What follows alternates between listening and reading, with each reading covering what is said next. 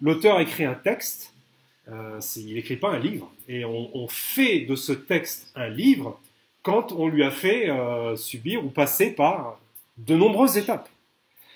Il faut orienter déjà, euh, souvent en amont, l'éditeur, ce qu'il fait, c'est qu'il oriente le contenu déjà, de façon à ce qu'il corresponde à l'attente des lecteurs. Bien souvent par la commande qui va passer auprès de l'auteur. Il demande carrément à l'auteur d'écrire un livre sur tel ou tel thème. Ou de réviser son contenu de façon à ce qu'il soit davantage conforme avec les attentes du marché. Ben, ça peut être en termes de qualité, mais ça peut être aussi en termes de, structuration euh, du contenu. L'intervention de l'éditeur, je ne sais pas si vous le savez, je ne sais pas du tout comment euh, on vous a parlé de ça jusqu'à présent, l'intervention de l'éditeur sur un texte peut être absolument considérable. hein. Euh, ça peut aller jusqu'à la réécriture partielle, voire totale. Hein, ça dépend de la qualité des auteurs qu'il a l'habitude de gérer, mais euh, il y a vraiment des interventions qui peuvent être très très importantes de la part de l'éditeur sur un texte, pour en faire un livre. Euh, ce qui fait également euh, un livre, bah, c'est la mise en page qui garantit le confort de lecture. C'est le fait d'inclure le produit obtenu dans une collection qui va permettre de le repérer et de l'identifier. C'est le fait de doter l'ouvrage d'une couverture et d'un texte de présentation, ce qu'on appelle la quatrième de couverture, qui seront capables de séduire le lecteur et euh, qui vont euh, l'aider à identifier l'œuvre, le genre, euh, encore une fois la collection. C'est aussi le fait de diffuser le livre à travers un réseau et qui reste pas enfermé dans, sa, petite pièce de stockage. C'est financer le, le stock pour pe- permettre justement cette large diffusion. Et c'est enfin assurer la promotion du livre grâce au réseau de communication de l'éditeur. Voilà comment, à partir d'un texte, on fait un livre. Si vous prenez maintenant euh, le cas d'un auteur qui s'auto-édite et qui croit que il suffit de mettre son livre sur Internet pour que ça devienne un succès puisqu'on l'ouvre au monde entier, j'en connais des centaines qui ont fait ça et qui n'ont pas eu un seul acheteur. Pas un seul acheteur.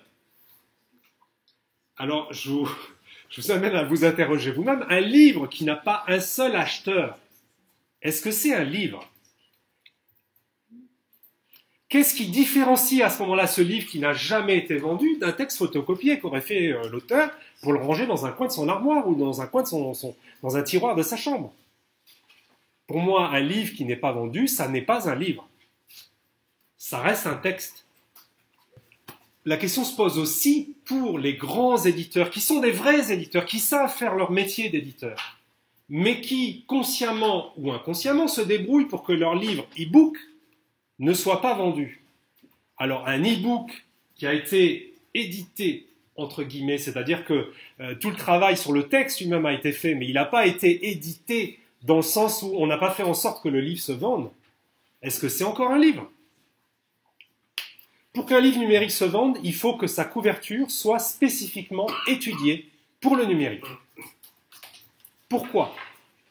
Parce que quand vous voyez un livre papier dans un rayon et que vous allez euh, vous hésitez à le choisir parmi un autre, vous avez une couverture qui fait en gros euh, bah, au moins 10-18, hein, au minimum. Et donc vous avez la place sur cet espace d'avoir tout un tas d'informations qui passent. Vous avez une mise en perspective de euh, l'image et du texte qui est propre à ce format. Quand euh, vous êtes sur Internet à hésiter euh, pour savoir si vous choisissez un livre ou pas, vous avez un timbre-poste qui représente la couverture. Ce qui peut passer sur un format 10-18, ça passe pas du tout sur un timbre-poste. Donc si la couverture n'a pas été spécialement étudiée pour une vente sur Internet, c'est valable aussi d'ailleurs pour les livres vendus sur Internet, hein, et ben votre livre il se vendra pas.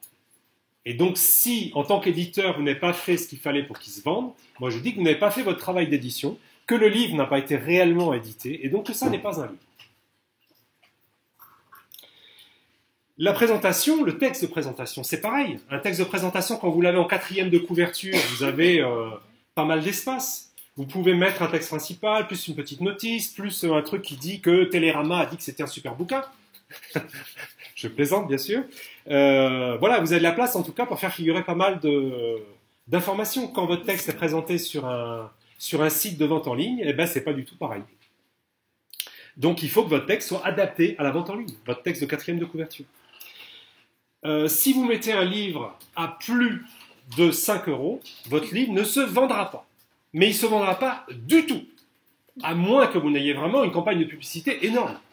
Des panneaux 4 par 3 dans le métro, euh, toute la presse qui en parle, la télévision qui en parle, des émissions euh, de prescription qui en parlent. Si vous n'avez pas un- une énorme machine de guerre pour pousser votre bouquin à plus de 5 euros, vous n'en vendrez pas du tout. On va dire peut-être, euh, allez, euh, 20 dans l'année, quoi.